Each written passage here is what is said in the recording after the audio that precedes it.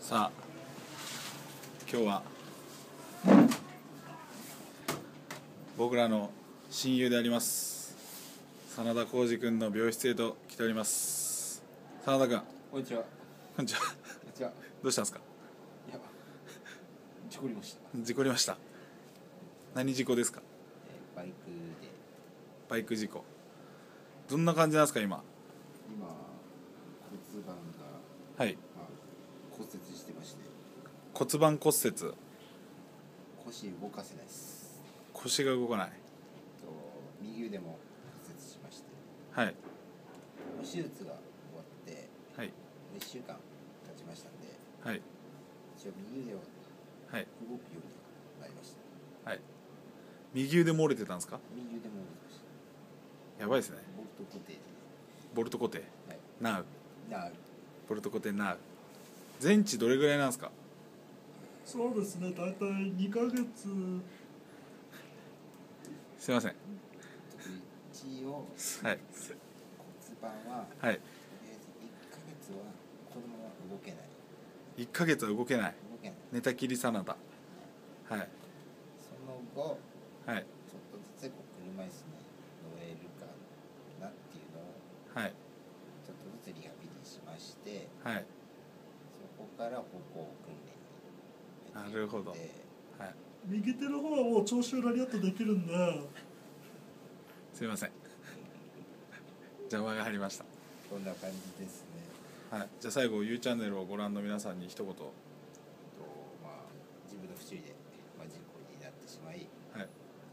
出演できなくなり、はい。まあ、皆さんにご迷惑をおかけします。真田です。はいまあ、元気に、まあゆっくり完全に、まあ、怪我を治して復帰したいと思いますのでよろしくお願いします。よろしくお願いします。実はその真田君に今日僕からはい。プレゼントがあるんですよ。これ開けられますか？そこの僕のプレゼントこちらは何でしょう退屈だろうと思ってどうですか？ミッキーマウスです。ミッキーマウスです。